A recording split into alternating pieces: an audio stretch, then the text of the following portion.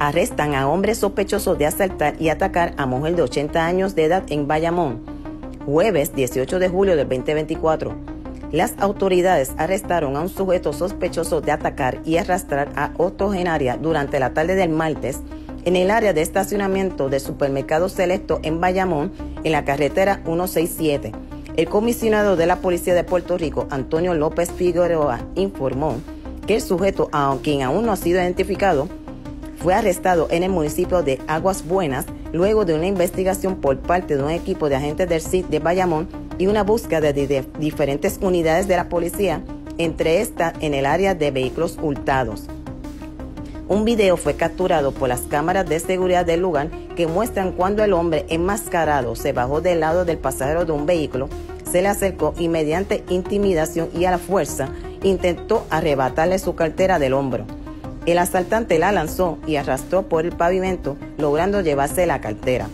Según el informe policíaco, la cartera de color crema contenía 600 dólares en efectivo, un teléfono celular y documentos personales pendiente del arresto de o de los individuos que iban en el vehículo.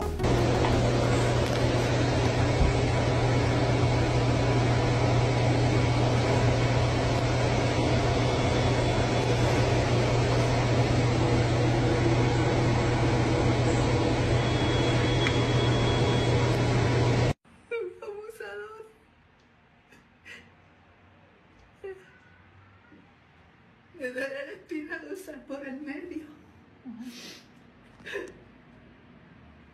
Estoy bien deprimida. Yo no dormí anoche. Yo casi no puedo comer ni nada. Porque estoy bien deprimida. Bien deprimida. Cuando alguien le toca la puerta, usted se asoma. Estoy asustada.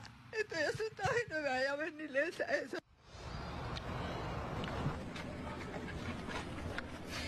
¿Y por qué lo hiciste? ¿Tenías conocimiento de la cantidad de dinero que ella tenía en la cartera?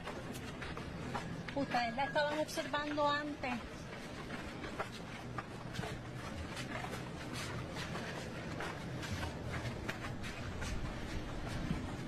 La estaba acechando, brother, la estaba acechando.